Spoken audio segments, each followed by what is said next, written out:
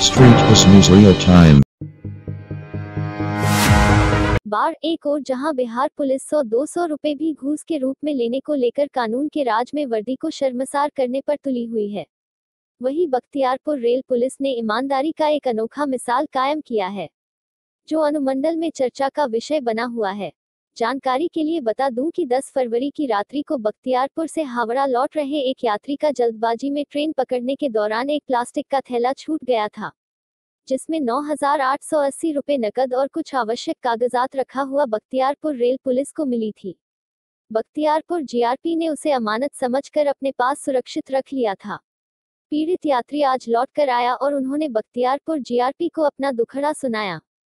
सारी जाँच पड़ताल के बाद जब बख्तियारपुर जीआरपी आश्वस्त हो गई कि छूटा हुआ थैला इसी व्यक्ति का है तो उन्होंने रुपए समेत वो प्लास्टिक का थैला पीड़ित यात्री के हवाले कर दिया। थैला मिलने के बाद पीड़ित यात्री बख्तियारपुर रेल पुलिस को कोटि कोटि धन्यवाद दिया। नोच खसोट करने में माहिर बिहार पुलिस और रेल पुलिस को ऐसे ईमानदार पुलिस वाले से सीख लेने की ज़रूरत है। जो ईमानदारी का तमगा तो लेते ही हैं। समाज में सराहे भी जाते हैं। किशोर पिंकू के साथ अनिल कुमार की रिपोर्ट। प्रमोद प्रमोद कुमार सिंह प्लेटफॉर्म पर अपना गश्ती कर रहे थे।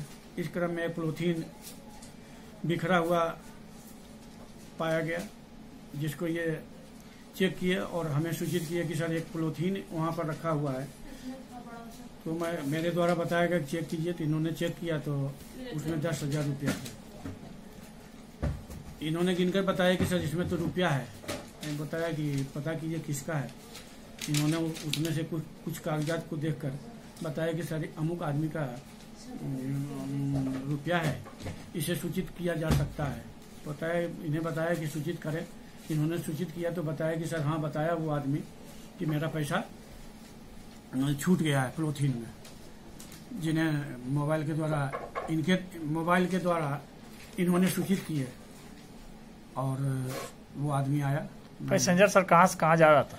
पैसेंजर बख्तियारपुर में ही किसी शादीशुदा में आया था अपने रिश्तेदार के यहाँ वो कलकत्ता जा रहा था।